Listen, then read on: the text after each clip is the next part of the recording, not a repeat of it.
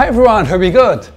So one of the most frustrating things I've ever experienced when working with my DAW, like you know, composing, um, uh, doing some editing and mixing stuff, uh, is that I always end up performing a thousand times pretty much the same bunches of operation, isn't it?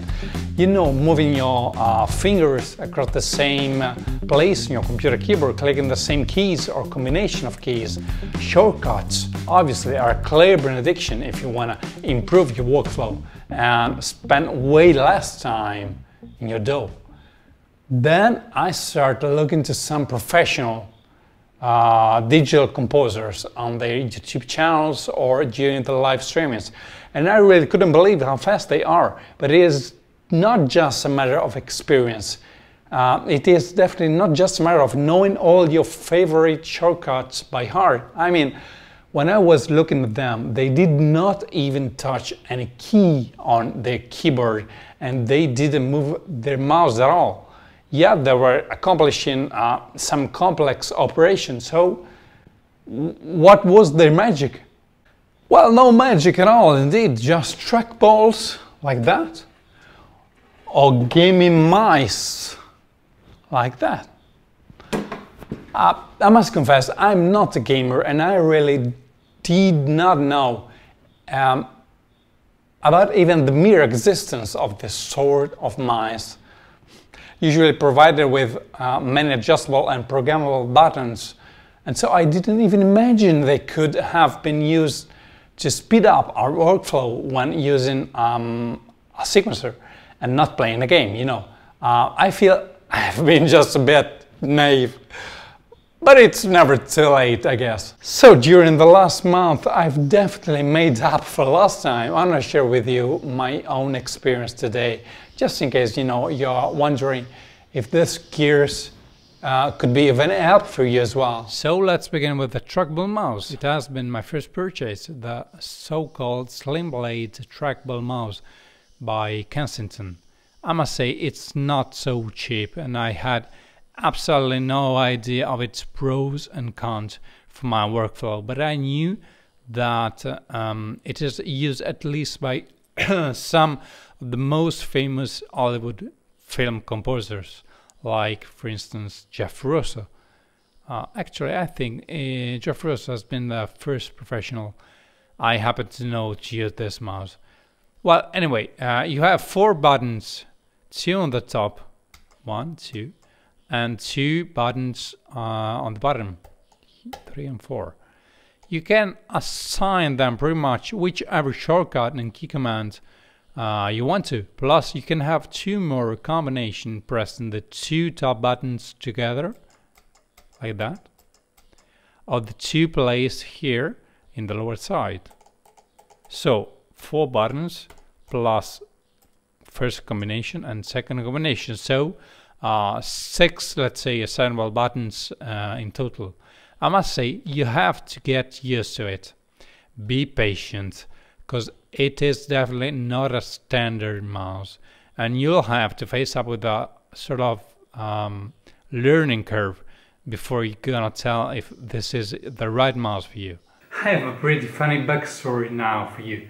I remember the first time I used it for let's say one hour. After that I really unplugged immediately the USB cable, put the trackball aside and started to feel, I know, some sort of frustration, disappointed and defeated. Uh, the day after, I spent with it almost three hours and I just fell in love with it. I think the main reason why pros use this trackball mouse ties in with its obvious nature. It is still. You don't have to move it. It stands just still over the place you want. Uh, all, all you have to do is moving, you know, that ball with your finger, and you have to believe me. This is the most precise pointer you could ask from any mouse at all. So why did I decide to dismiss it and move to a gaming mouse? Well, I want to reassure you now. Um, I've got a problem with my own right hand, actually with my left as well. But come on, this is another story. It usually gets really tired and heavy after, let's say, a certain amount of time when I'm using it. And I realized that with this trackball here, it gets even more exhausted in a short spell of time. Anyway, if I didn't have this health problem, I would find myself perfectly well with this trackball mouse. No doubt, period. Trust me. So this is Zelotes T90, the mouse uh, which I use now. Uh, and it has been my second choice after the trackball mouse. Why this mouse? Well, for two reasons. First, it is really cheap. Second, I'm a Mac user and unfortunately I couldn't find so many gaming mice for OS X platform, the vast majority being intended, you know, for Windows. It is provided with eight assignable buttons. One, two, three, four, and then uh, five, six, seven, and eight. The truck, the sorry, the um, the scroll wheel uh, is intended even uh, with a sort of uh, middle button here. Uh, plus, you can have a sort of uh, combination between these buttons. It is not so precise as the Kensington's trackballs here, but alas, for like 20 euros, I think it's a good one. And now last but by far not least, I just want to let you see it in action uh, with logic. So I maintained left and right buttons here as default, like um, primary left and right click buttons. Then a scroll wheel like standard scroll wheel vertically, but with Alt and Shift you can scroll horizontally. And by the way, uh, if you hold option and and move the um, scroll wheel, you can zoom in out uh, vertically and shift option zoom in out horizontally. Um, then the front button here, this guy performs a double click. So for instance, uh, at least here in Logic, when I go here and press this front button, it just adds uh, a new track with uh, one touch. Uh, then one of my favorite, probably the most favorite um, button, uh, assignable button here, the number four, because uh, when I press it, you know, I switch between arrange window and a full screen piano roll editor, which is really, really, really helpful and handy when uh, composing. Uh, number five here, I set uh, I set it for repeating events. Like for instance, I go here, then I create a region, then I press this button and just repeat the region.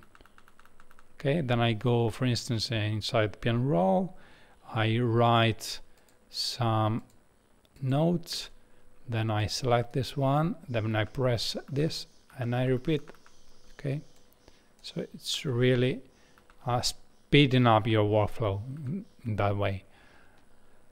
uh, that's some useful, at least for myself, combination like uh, um, button number four um, plus left click. So when pressed together, they delete event like that. I select this one, I press four and left button, and I delete. Then uh, the number four again with the middle button here, the one of the scroll wheel for muting or unmuting track. Then number five plus the left click, at least when I find myself in the piano roll uh, for uh, selecting the scissor tool like that here. So I guess it's still and um, button number five plus uh, um, middle button here. Come back to uh, the pointer tool. Oh, I forgot uh, middle button here by itself it opens the instrument plugin window. So I do like that, press, and it should open um, Kontakt. Yeah, right here. Okay, so just in one touch. So yeah, that's it. Let me know here below uh, which is your go-to mouse, at least if you have one, if you do. Before this mice here, uh, I use the so-called magic mouse, which is really smart and handy, but it hasn't assemble buttons at all. So, you know, thanks Apple, good try. Anyways, man, don't forget to subscribe what is here, here, whatever, I don't know. And ding that bell icon uh, if you want to be notified every time I put a video up. So for the time being, thank you for watching and see you next time. Take care.